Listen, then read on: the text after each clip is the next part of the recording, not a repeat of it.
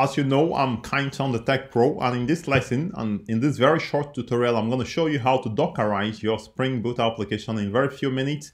So the step-by-step -step is right here and I have a simple REST API I've built. Uh, you can see it right here. I'm going to go ahead to run this application.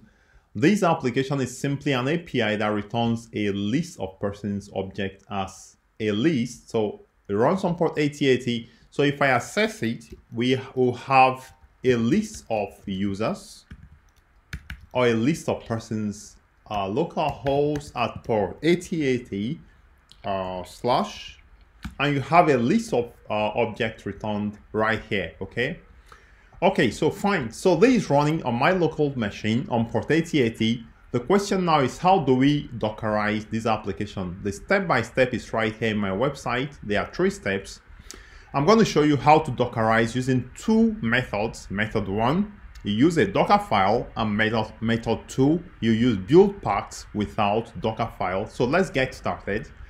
The first part of building the Spring application uh, is what I already done. I've already done it, so feel free to just do it.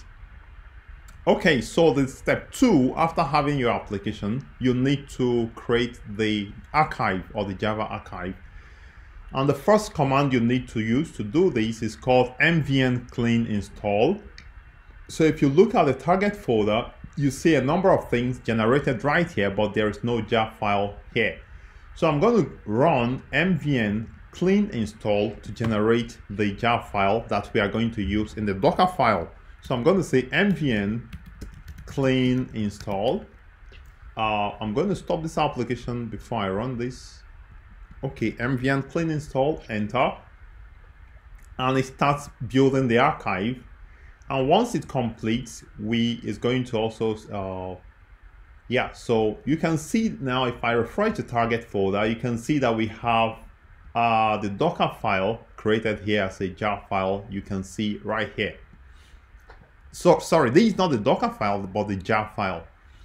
All right, so this is what we've done right now. The next thing now is to create a Docker file. Now this is very important. Take note, I'm going to create an empty file and I'm going to call it Docker file. Take note of the of the casing of the name is Docker file. So it's not Docker file or Docker file. Any of this is not going to work. The only thing that's going to work is Docker file like this, okay?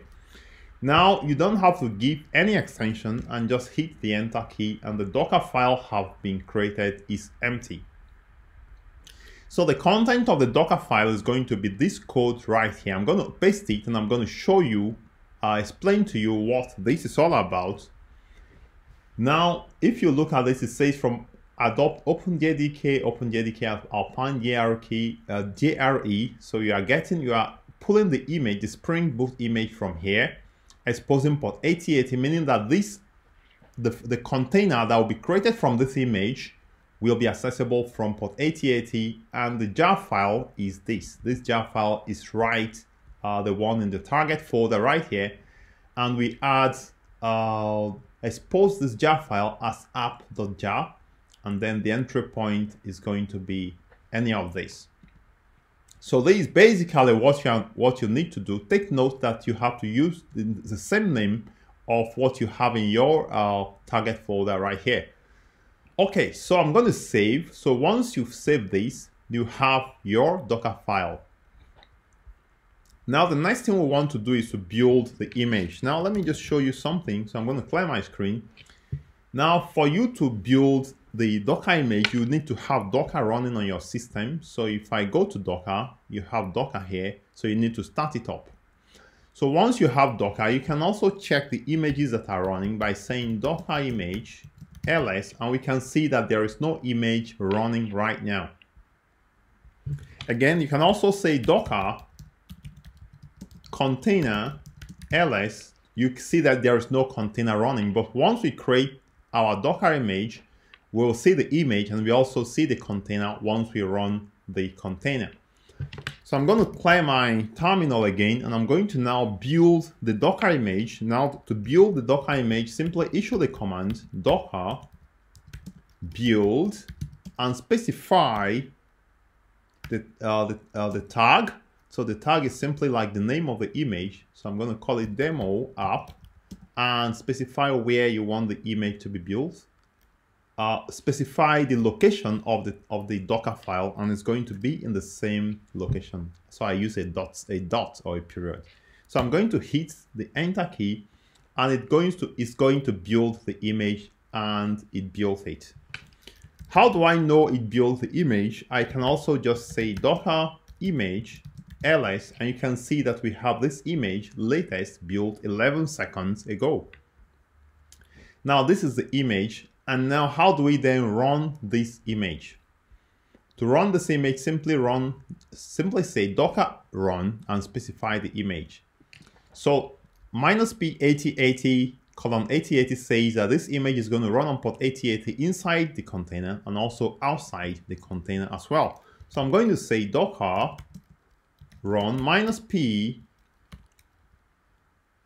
8080 8080 and specify the name of the image you want to run, Docker app, demo app, sorry. So I'm going to hit the enter key and it's going to uh, run this image just like before. It's going to run this image, starting it at port 8080. And if I come here and refresh, you can see that it works and you can see uh, it works. All right, let me now show you the second method of building uh, a Docker file. So I'm going to just delete everything. Uh, I'm going to delete the Docker file. So I'm going to hit the delete. So now we want to build the, the, the, the, the create a Docker image, this time using uh, build packs. We don't need a Docker file. There is a feature introduced in Spring Boot 2.3.0.m1. Okay, so I'm going to first go to my terminal and I'm going to clear my terminal. So let me see if I get back to my terminal here. All right, so let me clear my terminal. And now you can see that we don't have a Docker file, but we will actually we will build the Docker image. So basically, I'm going to uh, delete any container I already built. So if I say Docker container ls minus a, you can see that we have a container running. So I'm going to delete this container by copying the, the name of the container and say docker container rm and specify the name of the container and now we remove the container. So if I check for the container, you can see there's no container, but I think the Docker image might just be there. So if I say Docker image ls, you can see the Docker image here. So I'm going to delete the Docker image as well.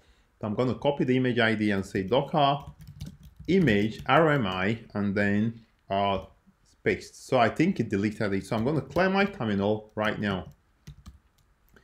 Okay, so we don't have anything. Now we want to build the image uh, using build packs and the instruction says you simply enter the command mvn spring boot build image and I'm going to hit the enter key. So it does exactly the same thing and builds the image. And now when I check Docker image ls, I'll have, so you say pulling image, uh, pulling builder image from Docker. So I have two images that are needed to build uh, this image of my application. And I'm going to show you in a minute. So this makes things very easier because this time you don't need to use a Docker file. Uh, I think, yeah, so, all right, let's see. All right, I think it worked. Let's see. So once this process completes, we are now going to see two different images uh, created.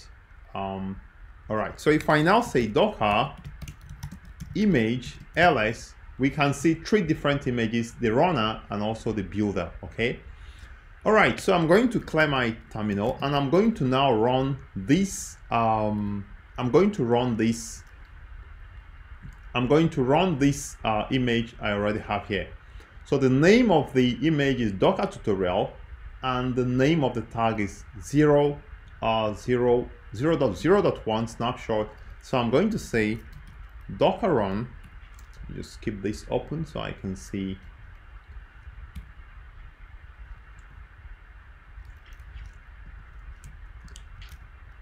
Docker run and specify I'm exposing this port uh, 8080 inside and outside and the image name is docker tutorial permit me to just shift this a little bit and the tag is 0.0.1 uh, snapshots so let me just make sure I have the name correctly so it's 0.0.1 snapshot and the image name is docker tutorial. So I'm going to hit the enter key and it's going to spin up the container and run the image just like before. So I'm actually going to stop here and you've seen how the two ways of building a Docker image or running a, a Spring Boot application in Docker. You can use the Docker file and also you can use build packs without the, the, doc, the, Docker file. So I'm going to stop here. Please remember to subscribe to my channel. If you have challenges following, please let me know in the comment box below. I remain Kindson the Tech Pro and I'm always there for you.